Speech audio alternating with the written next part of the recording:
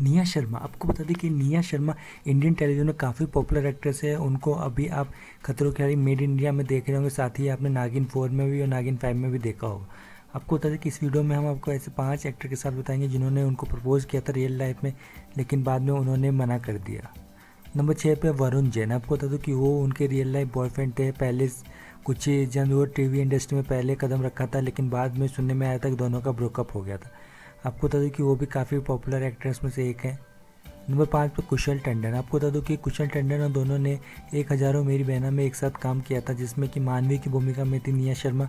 उनका परफॉर्मेंस भी और रूमर रिलेशन खबरें भी मीडिया में काफ़ी दिनों तक छपती रही थी। आपको नंबर चार पर शबान आज़म। शबान आज़म पॉपुलर एक्टर है इंडियन टेलीविज़न में।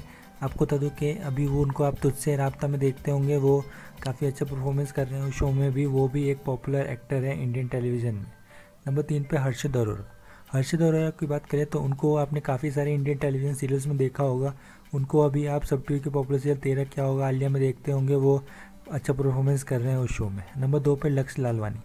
लक्ष्य लालवानी की बात करें तो इनको आपने पोरस में देखा होगा, जिसमें वो पूर्व की भूमिका में थे। काफ़ी अच्छे परफॉर्मेंस के तौर पर सामने आए थे। वो काफ़ी टैलेंटेड पर्सन भी है इंडियन टेलीविज़न में। नंबर एक पर राहुल सुधीर। आपको बता दें कि इनको अभी आप इश्क में मर जावा सेकेंड सीज़न में देख रहे होंगे, दोनों ने एक वेब सीरीज़ किया था ट्विस्ट